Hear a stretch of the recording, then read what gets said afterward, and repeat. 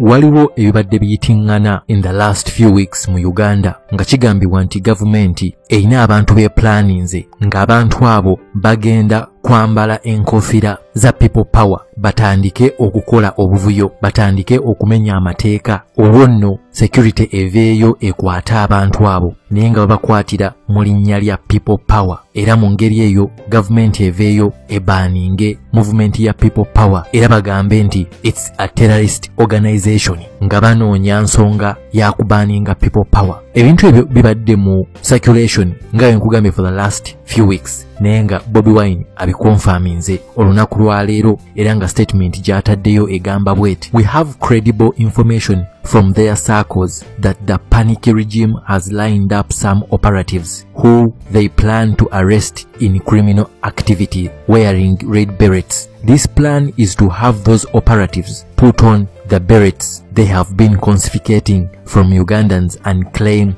to have caught them engaging in criminal so that they declare people power a terrorist organization and ban it. That basically explains such headlines that explains why they started stage managing people who claim that our supporters nailed them. We have been told they also plan to plant weapons in houses of some of our supporters, arrest them and charge them with treason and terrorism. That explains why Minister Eli Tumwine was on television saying that People Power is linked to a terrorist organization called Red Movement. Aside from this, they have rolled out a massive mission to bribe our people, including coordinators and supporters in different places. Too bad for them. Many of these people they approach bring this information to us. I am telling you all these comrades so that we all keep very alert. Watch each other's evil schemes and expose them. They think they can still use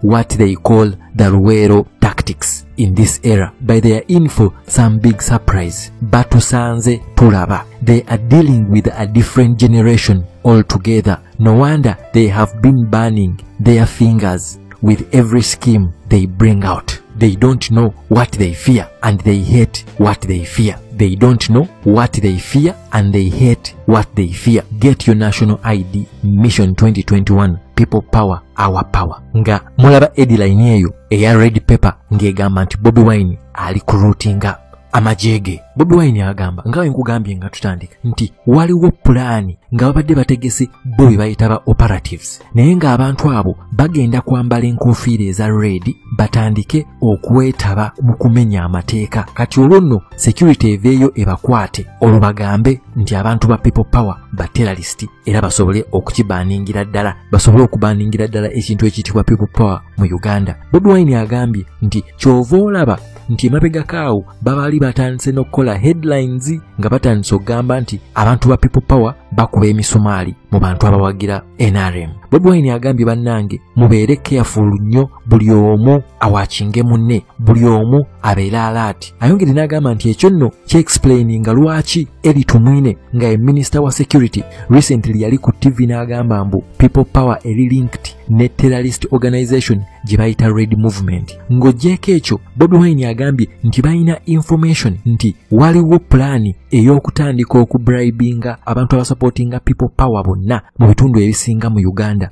N'okubribinga bacoordinator ba people power. Naye bobi wine agambye nti kibi nnyo ku saidi yaabwe kuba abantu abo bwe bagenda ne bagezaako babribinga ate bamala information ne bagizaayo mu bantu abakulembera people power. Waliwo ne pulaani endala nti bayinza okutandika okuteeka ebyokulwanyisa mu nnyumba z'abantu abawagira people power basobole okubakwata babaguleko emisango gy'okulya mu nsi yaabwe olukwe. Treason n'emisango emirala egy'abaterrorist bobi wine agambye nti mutusanze tulaba. Eno generation gye mulimu si ye generation gye mwalwaniramu nga muwamba. Buno obukodyo bwe mwakozesa eruweero tebugenda kukola mu eno era. Kuba byonna bye mwakozesa tubimanyi. Buli kimu kye babadde bakola bobi wine agamba nti basanga beeyokyeza engalo zaabwe.